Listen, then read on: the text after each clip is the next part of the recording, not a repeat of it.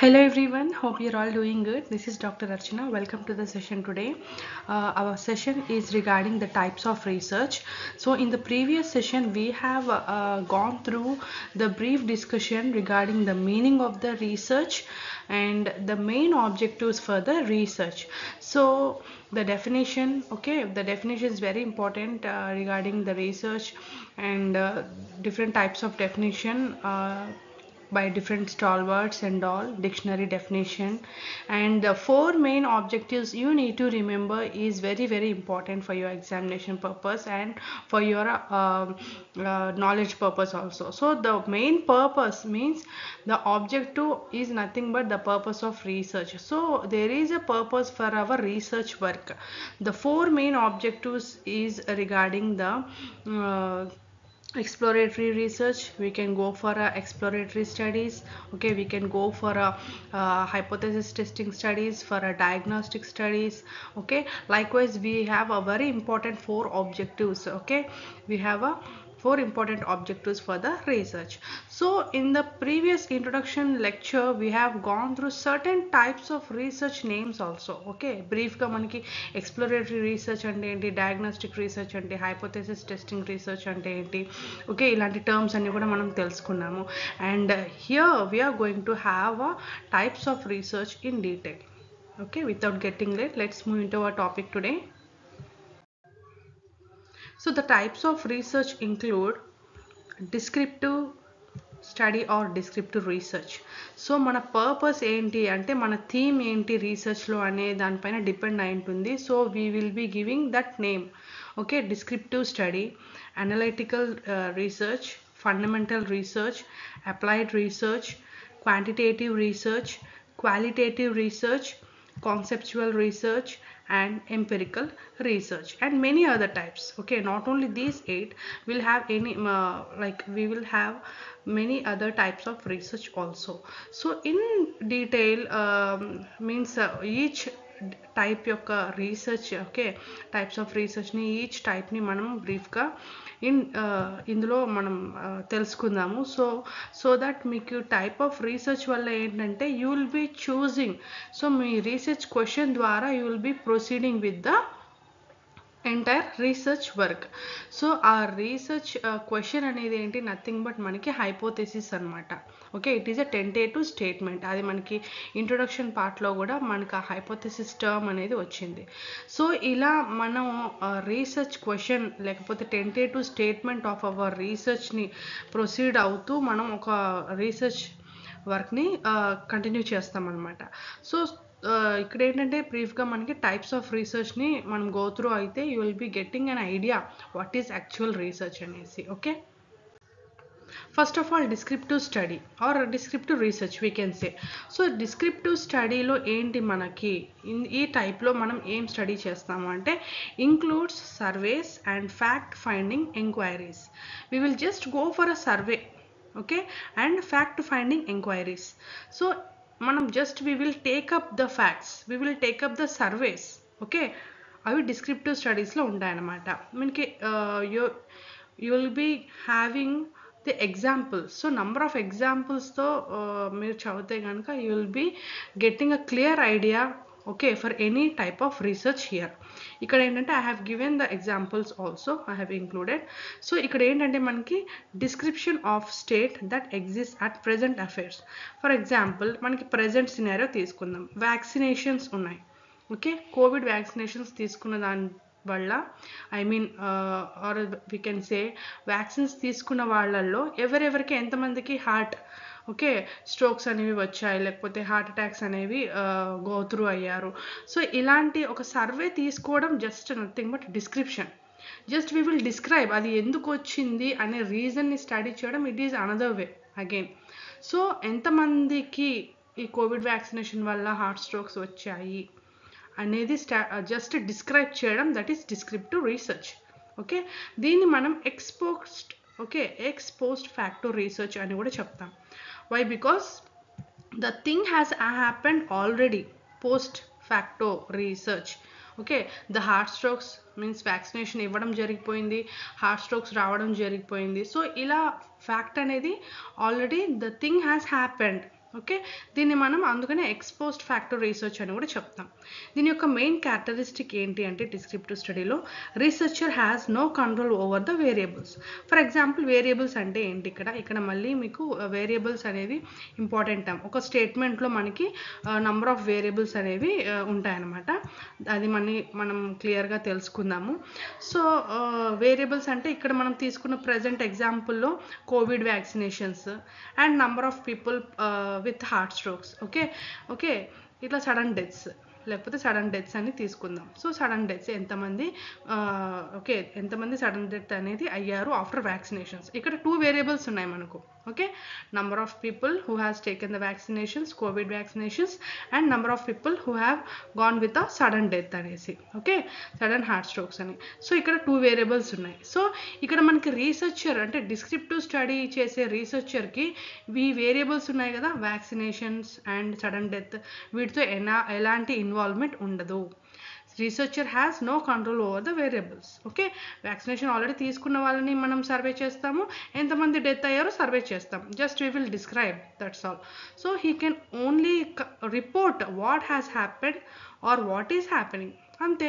So we will just report okay descriptive research చేసే reporter or researcher he just reports అనమాట ఏమైంది? What happen or what is happening అనేసి. So ఇక్కడ మనకి example బుక్లో example అయితే మెన్షన్ చేశాను. But I think this Covid vaccination and sudden deaths is the best example to you okay frequency of shopping ఏంటి? ఎక్కువగా ఓకే ఏ సీజన్లో ఏది ఎక్కువగా షాప్ చేస్తారు? Number of people affected from certain diseases okay ఒక సీజన్లో certain సీజన్స్లో we will be prevailing with certain diseases అలా. లేకపోతే ఇంకో example have mention here mathematics study in population age group from twenty five to thirty five so for example mathematics study చేయాలి from age group twenty five to thirty five okay ఇలాంటివన్నీ just we will describe అనమాట mathematic symptoms like symptoms అన్నీ మనము note down చేసుకొని which is having a dominant miasm in the age group twenty five to thirty five describe చేస్తాం అంతే. Okay comparative and correlational methods survey methods ఇవి కూడా కంపే even we will compare also ఇక్కడ ఏంటి మనకి sudden deaths I mean vaccine తీసుకున్న వాళ్ళు తీసుకోని వాళ్ళు. ఓకే ఇలా కంపారిటివ్ కోరిలేషనల్ స్టడీస్ కూడా మనం డిస్క్రిప్టివ్ రీసెర్చ్లో చేస్తామన్నమాట that is the thing. So guys coming to the analytical studies or analytical research. So analytical research is uh, type of research which involves okay uses the uh, the researcher in uses the information or facts already available and analyze these information for critical evaluation. So usually రీసెర్చర్కి ఏంటంటే already the information or facts అనేవి already అవైలబుల్గా ఉంటాయి and he is going to analyse the situation okay he will analyse the information or any critical evaluation he will do the evaluation so which is ఇది మనం ఎలా చెప్పొచ్చు అంటే analytical research mostly మనకి ఉన్న ఇన్ఫర్మేషన్ అంతా కూడా సెకండరీ డేటా అని కూడా చెప్పొచ్చు అనమాట అవైలబుల్ అన్న డేటా మొత్తం సెకండరీ డేటా అని కూడా చెప్పొచ్చు. సో ఇదర్ ఇట్ కంపేర్స్ అనమాట ఏదైనా కంపారిజన్ లేకపోతే ఒక ఇన్ఫర్మేషన్ని అనలైజ్ చేయడం అనేది it is nothing but analytical research యూజువల్గా మనకి హైపోథెసిస్ టెస్టింగ్ స్టడీస్ కూడా మనం అనలైజ్ అనే కూడా చెప్పొచ్చు. అనలైటికల్ రీస్ రీసెర్చ్లో అనలైటికల్ స్టడీస్లో మనం హైపోథెసిస్ టెస్టింగ్ అనేది కూడా చేస్తామన్నమాట. So analysis analytic study or analytical research is nothing but researcher uses the information already available and he will analyse through some test okay some test అంటే statistical test ఉంటాయి కదా hypothesis testing ఇలా okay? Next coming to the fundamental research so what is fundamental research అంటే will go through here research concern with generalisations and with the formulation of a theory so first of all మనకి ఏంటంటే fundamental రీసెర్చ్ని మనం pure research అని కూడా చెప్తాము. Basic research or pure research so name itself indicates కదా fundamental అనేసి. So we can also call it as basic research or pure research so it is concern with the certain knowledge అనమాట ఒక new నాలెడ్జ్ని for the sake of new నాలెడ్జ్ని evolve చేయడానికి okay దీని యొక్క main aim అంటే fundamental research ఒక new నాలెడ్జ్ని ఇవాల్వ్ చేయడానికి ఒక న్యూ నాలెడ్జ్ని అవుట్పుట్ ఇవ్వడానికి. ఓకే బేసిక్ రీసెర్చ్ అంటారు అనమాట దీన్ని. సో ఎగ్జాంపుల్ ఏంటంటే ఇక్కడ you can go through research concern with natural phenomena or relating to pure mathematics. ఇక్కడ చెప్పాం కదా మనం ప్యూర్ రీసెర్చ్ అని కూడా అంటామని. సో ఇట్ ఈ ఎగ్జాంపుల్తో మనం కోరిలేట్ చేసుకోవచ్చు. Okay? And also generalisations about human behaviour. So human behaviour కూడా వన్ ఆఫ్ ద ఎగ్జాంపుల్ ఇక్కడ ఇచ్చారు. సో హ్యూమన్ బిహేవియర్ యొక్క రీజ్ okay different type of human బిహేవియర్కి ఒక రీజన్స్ ఏంటి? బేసిక్ రీజన్స్ ఏంటి? ఓకే ప్యూర్ నాలెడ్జ్ని మనం ఫైండ్ అవుట్ చేయడమే ఫండమెంటల్ రీసెర్చ్ అనమాట so finding information that has broad base of applications which adds to the already existing knowledge so it is there already existing మన human nature అనేది already it is there and uh, maths కూడా it is there okay scientific knowledge కానీ ఏదో కూడా ఒక formulation of theories ఏదైనా theory form చేయడానికి principles లాస్ని క్రియేట్ చేయడానికి ఈ ఫండమెంటల్ రీసెర్చ్ అనేది చాలా ఇంపార్టెంట్ అనమాట so it is nothing but a basic or a pure research coming to the applied research. Okay? Research aimed at conclusions facing a social political economic business problems so ఇది one of the example అని చెప్పుకోవచ్చు మనము. First of all మనకి నేమ్లోనే indicate అవుతుంది what is applied research అని. So one of the నాలెడ్జ్ని one of the ఇన్ఫర్మేషన్ని మనము ఏదైనా ఫైండ్ అవుట్ చేయడానికి రీసెర్చ్ చేయడానికి మనం అప్లై చేస్తాము.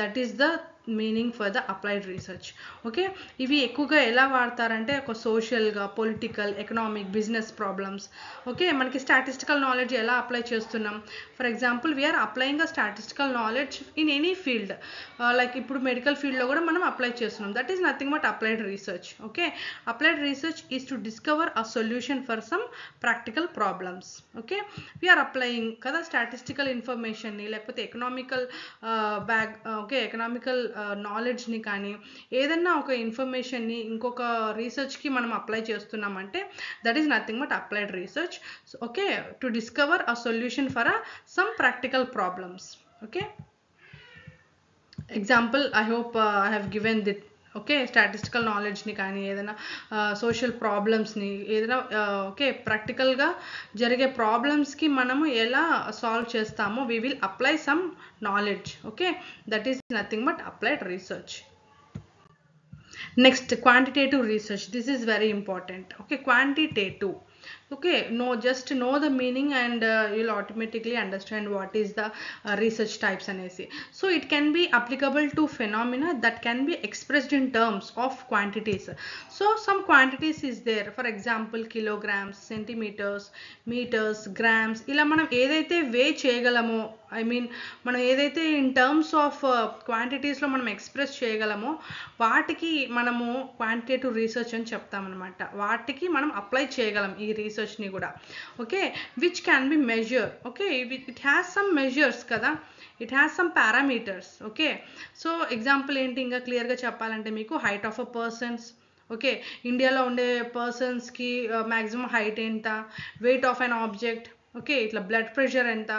Okay twenty to thirty age గ్రూప్లో బ్లడ్ ప్రెషర్ కామన్గా ఎంత ఉండొచ్చు? హార్ట్ రేట్ ఏంటి? ఇవన్నీ మనం మెజర్ చేయగలం. సో ఇలా మెజర్ చేయగలిగిన పారామీటర్స్ అన్నిటికీ మనము క్వాంటిటేటివ్ రీసెర్చ్ని చేయొచ్చు అనమాట సో అలాంటి రీసెర్చ్ని మనం క్వాంటిటేటివ్ రీసెర్చ్ అని చెప్పచ్చు. Coming to qualitative research so same కాదు ఈ రెండు quantitative and qualitative we have to be clear with the differences so phenomena relating to or involving quality or kind so some quality అనేది మనము we can not have certain parameters right క్వాలిటీకి మనం ఒక కైండ్కి ఎప్పుడు మనం పారామీటర్స్ ఇవ్వలేము. For example ఇక్కడ ఏంటి? Investigating the reasons for different human behaviour for example మనకి ఇంకా క్లియర్గా చెప్పాలంటే ఒక యాంగర్ సమ్ ఎమోషన్స్ ఉంటాయి. వీటన్నిటికీ మనం ఒక పారామీటర్స్ ఇవ్వలేము. సో ఇట్లా ఎగ్జాంపుల్తో you can be clear okay? ఇంకోసారి చూద్దాం. Example investigating the reasons for different human behaviour and underline motives of human behaviour so motives అనేవి కూడా మోటివేషన్ ఇదంతా మనకి సైకాలజీలో one of the topic so ఏంటి ఈ మోటివ్స్ మనిషి ఐ మీన్ హ్యూమన్ బిహేవియర్ యొక్క డిఫరెంట్ బిహేవియర్స్కి వాళ్ళ బ్యాక్గ్రౌండ్లో ఉండే మోటివ్స్ ఏంటి డ్రైవ్స్ ఏంటి ఒక యాక్చువల్ రీజన్ ఏంటి అనేది మనం ఒక పారామీటర్స్తో మనము we cannot give and clear output అనమాట okay specially important in behavioural science where aim is to discover underline motive of human behaviour so ఇలా క్వాలిటేటివ్ రీసెర్చ్ అనేది మనం బిహేవియరల్ సైన్స్లో ఎక్కువగా ఐ మీన్ దీని యొక్క ఇంపార్టెన్స్ ఎక్కువగా బిహేవియరల్ సైన్స్లో ఉంటుందన్నమాట qualitative research example which do not have certain parameters already మనం డిస్కస్ చేసాము టు మెజర్ లైక్ ఇప్పుడు వీటిని యాంగర్ లవ్ ఇంట్రెస్ట్ రిజెక్షన్స్ ఇలాంటి డిఫరెంట్ డిఫరెంట్ ఎమోషన్స్ని మనం ఒక సర్టెన్ పారామీటర్స్ అనేది ఇవ్వలేము. That is the nothing but qualitative research. Coming to the conceptual research. So the name itself indicates okay name itself indicates conceptual means it is related to some abstract ideas or theories okay to ha- to extract some ideas or theory generally used by philosophers and thinkers to develop new concepts or to reinterpret existing ones so already existing వన్ని so యూజువల్గా ఎక్కువగా మనకి philosophers అనేవాళ్ళు ఎక్కువగా దీన్ని use చేస్తూ ఉంటారు ఈ కాన్సెప్చువల్ రీసెర్చ్ అనేది చేస్తూ ఉంటారు to abstract some ideas or theories coming to the empirical research okay empirical research uh, relies in experience or observation alone so ఈ empirical research అనేది ఏంటంటే nothing but it only relies on experience or observation alone without regard for theory Okay?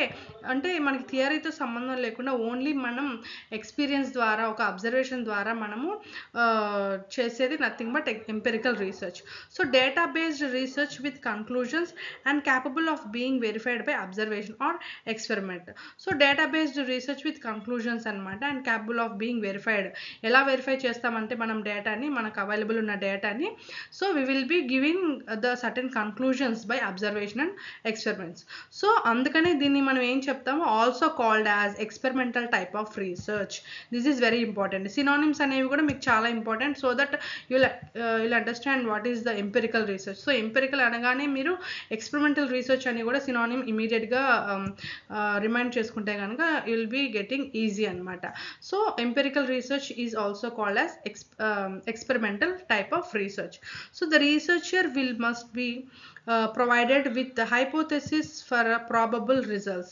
So మనం ఏదైనా data ఉన్నప్పుడు దానికి conclusion ఎలా ఇస్తామంటే um, రీసెర్చర్కి కంపల్సరీగా ఒక హైపోథెసిస్ అనేది ఫ్రేమ్ చేసుకొని ఉండాలన్నమాట. హైపో హైపోథెసిస్ అనేది nothing but it is a tentative statement okay for the research for example tentative statement మనం ఫస్ట్లో uh, మాట్లాడుకునే ఎగ్జాంపులే తీసుకుందాము. Okay does the COVID vaccine okay COVID vaccine తీసుకున్న వాళ్ళల్లో is there sudden deaths okay ఇది మన research question is there really okay ఇది మన టెంటేటివ్ స్టేట్మెంట్ దాన్ని మనం ప్రూవ్ చేయాలంటే we will be proceeding with certain procedure okay దాన్ని ప్రూవ్ చేయాలంటే will be proceeding with certain methods and procedures for the research so ఇలా మనకి ఏంటంటే ఒక హైపోథెసిస్ని ఫ్రేమ్ చేసుకుంటాం రీసెర్చ్కి ముందే. సో ఈ ఎక్స్పెరిమెంటల్ రీసెర్చ్లో కంపల్సరీ హైపోథెసిస్ ఇలా ఒక స్టేట్మెంట్ అనేది మస్ట్ అండ్ షుడ్గా ఒక రీసెర్చర్ ఫ్రేమ్ చేసుకొని ఉండాలన్నమాట.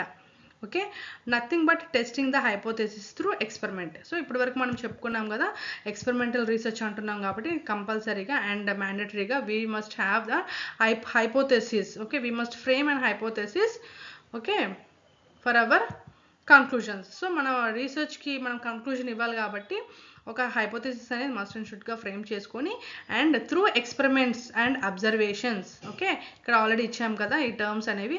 Through experiments or observation we will be proceeding with the procedure of our research and will be giving the conclusions right so guys ఇప్పుడు మనము చాలా types of research అనేవి కూడా we have discussed with the lot of examples also and next క్లాస్లో మనం okay research process అనేది చాలా చాలా important will proceed with the another topic for the next session hope you all understand and hope you all like this video take care bye bye